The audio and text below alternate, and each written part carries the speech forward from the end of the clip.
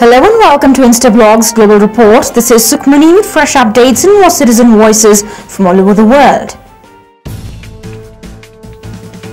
Stories of the day are Maulvi Kabir, the notorious Taliban leader, arrested by Pakistani police.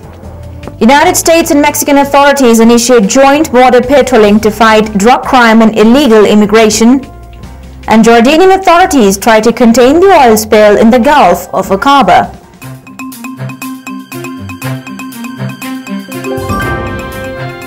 Pakistani police have arrested another Taliban leader, Maulvi Kabir, one of the 10 most wanted militants and former governor of the Afghanistan province of Nangarhar.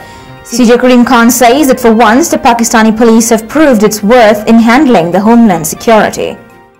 This is CJ Karim Khan on Instablogs from Peshawar in Pakistan.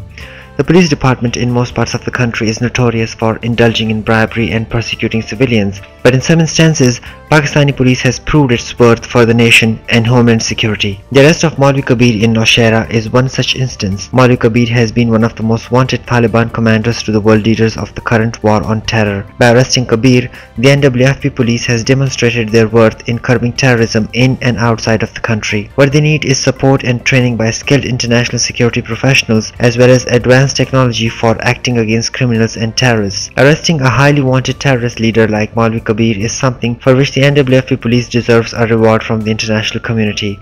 At the same time, media in the country needs to be free in covering important news relating national security without risking the safety of its journalists and anchors.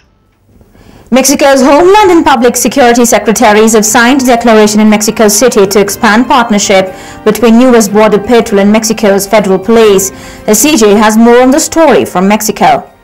U.S. Border Patrol and Mexican federal agents have been sharing intelligence and working patrols together for the first time in a joint effort to crack down on drug smuggling, weapons smuggling, and illegal immigration. Homeland Security Secretary Janet Napolitano and Mexican Public Safety Secretary Genaro Garcia Luna signed a declaration Thursday in Mexico City that would expand the new partnership between the U.S. Border Patrol and Mexico's federal police that began in recent months. Officials say that eventually joint operations on both sides of the border could lead to the creation of a Mexican force serving as a counterpart to the U.S. Border Patrol. A major goal of the partnership is to help Mexico fight violent drug cartels, which are often better funded and more heavily armed than Mexican police.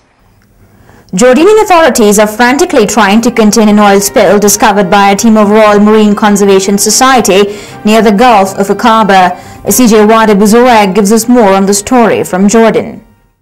Jordanian authorities rushed last Thursday to try and contain an oil spill which was discovered by teams from the Royal Marine Conservation Society near Aqaba. The source of the oil spill is yet to be determined, as more focus is being geared towards containing the pollution and finding out the affected area, which is reported to be a few kilometers in the southern beach. A pipe malfunction of a tanker offloading oil is suspected to be the source of the spill. The incident's impact on marine life is not determined yet, as it is still being investigated, but needs to be targeted as soon as possible.